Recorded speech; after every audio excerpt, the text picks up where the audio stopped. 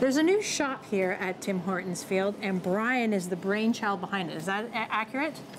Uh, yeah, yeah, I suppose in conjunction with uh, a bunch of others in the organization, this is something we came up with. Yeah. Well, you'll have to walk us through uh, what the idea was behind it. And there's a, there's a lot of there's some historical pieces to it too. Yeah, I think this is this has been something that's been uh, three years in the making for the organization, and there was uh, uh, it's about 2,000 square feet that were available to us, and uh, which is a, which is double where we are currently with our store at One Jarvis. So it was fun to uh, take some elements of the past and incorporate uh, incorporate them into the store. Yeah. So tell us about some of it. Uh, there's the sign in particular.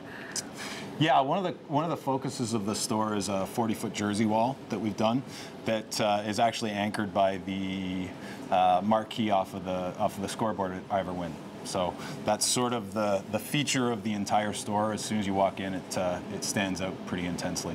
One thing that we have done this year is uh, in, introduce the the jersey customization feature, which allows us to do on-site jersey cresting and complete it in a matter of you know 12 to 15 minutes.